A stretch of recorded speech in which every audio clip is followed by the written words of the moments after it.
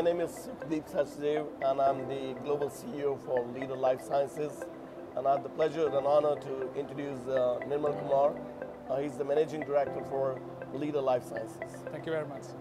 This year for Leader Life Sciences, we are quite excited to introduce uh, niche applications in the field of bioprinting and uh, genomic surveillance and non-contact liquid handling and a lot of innovative aspects that we're introducing to enhance research and diagnostics overall. I think though what Nirmal just explained to you is about um, you know something different that we are taking uh, the healthcare segment is called bioconvergence, and bioconvergence is nothing but it's a it's a, it's a combination of technology, biology, and computerized systems. So, you know, altogether what we are looking at is like how the bioconvergence can help to improvise the solutions that we want to offer in the field of lab solutions. So the idea is to, our, as the title says, it's always uh, partnering in discovery and bridging the gap between science and technology. So we always uh, want to provide a comprehensive solution to our the end users, the researchers.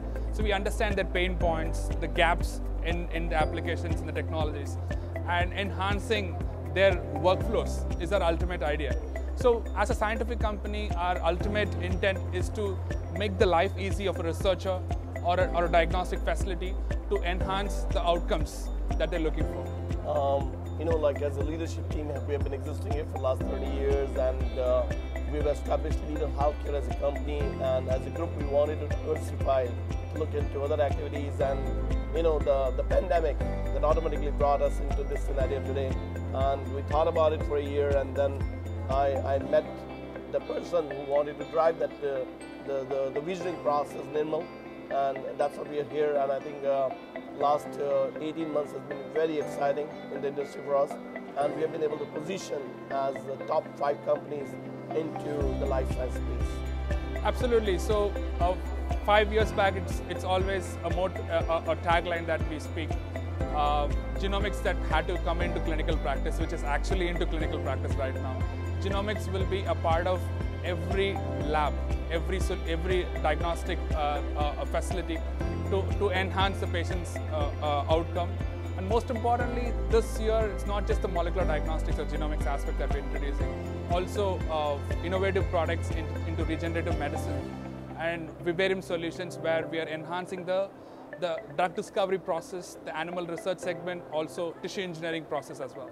Um, I would say the challenge is that the dynamics of the business is changing very rapidly, and the reason being, as you know, like people have been talking about new variants entering into Omicron. Today's an Omicron, tomorrow it could be something else, and so that leads us to kind of a positioning ourselves as a, as a company that we are rapidly evolving as the I mean, or we should say we are running ahead of the variants, you know. So we are uh, getting into a predictive nature as to what could happen tomorrow. And uh, we are very fortunate that we have got a great team I mean, who are actually getting themselves acquainted with where the technology is going to go in the next five years. So uh, that, that way, I mean, yeah, there are challenges, but we are able to really combat the scenario. Definitely, yes. There are, there are very interesting partnerships that we had this year. And one is AZ3D, which is again a 3D printing model for pre-surgical. It's more of a constructs that we built for a, for a clinician to do it before a surgery. And not to uh, forget the BICO, which Mr. Sukhdeep talked about, the bioconvergence aspects, the, the point where bioprinting, data science, and genomics meets. It's a technology, you know, merger. That, that point is like revolutionizing the future of medicine. And, uh, and not to forget, again, all the aspects of uh, the laboratory process uh, to enhance the whole uh, uh, research practice on the whole sorry, uh, when we talk about the research, I mean, the most important component is our association with Allentown. It's a company into animal sciences, and so that's that's something which is uh, very encouraging, and then we are we are forging a relationship and working on several projects at this point of time. I think the the future belongs to us. Like you know, we are what we always call as a leader life sciences is where the sciences are. So we speak the language, you know, and, and today the purpose was here to to let the world know what Leader Life Sciences are capable of and uh, we're getting a very great response from the industry and uh, Nirmal can add more into it.